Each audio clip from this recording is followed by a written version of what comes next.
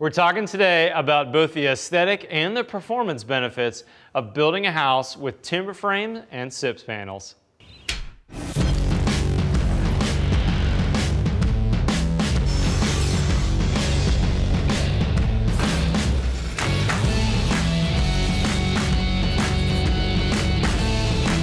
We're back at our SIPS house and I want to talk to you today about integrating timber frame with SIPS and why they're such a good fit for each other. As you can see behind me, the great room is framed all in timber frame. These are Douglas fir architectural timbers from the Pacific Northwest and a local company, Texas Timber Frame, put everything together. This is really an impressive great room. Look at the mortise and tenon coming into the pegs. I've got a Doug fir 2x6 TNG ceiling. It really is gonna make a beautiful room once we get this all whitewashed. But what I like about marrying the two is now this timber frame is actually carrying the structural load for that great room. My SIPS panels on the roof are only doing insulation duty.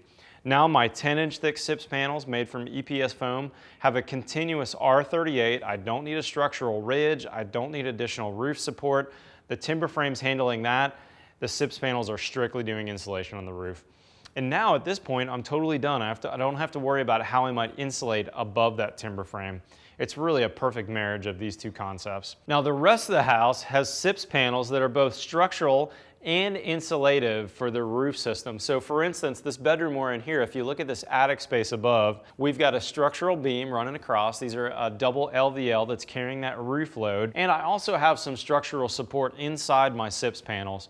So I've got a slightly reduced R value in this roof compared to above my great room, but it's still a very, very well insulated and of course very airtight roof system. Also, we're not gonna need additional insulation. So now when I put my ducts up in that attic above me, it's part of the air conditioned space of this house. That attic may be one or two degrees hotter than this bedroom where I am now, but it's basically the same as where we are. Very, very impressive system. On the outside of this house, we're gonna be using Cosella Dörken's Delta Vent SA on the walls and Delta Foxx on the roof.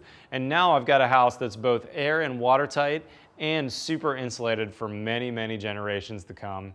For more information on both timber frame or SIPS, visit my blog at mattrisinger.com. And if you want to follow the progress of this house, we're always going to do hashtag RisingerSIPS when we post to Instagram or Twitter. We'll see you next time on The Build Show.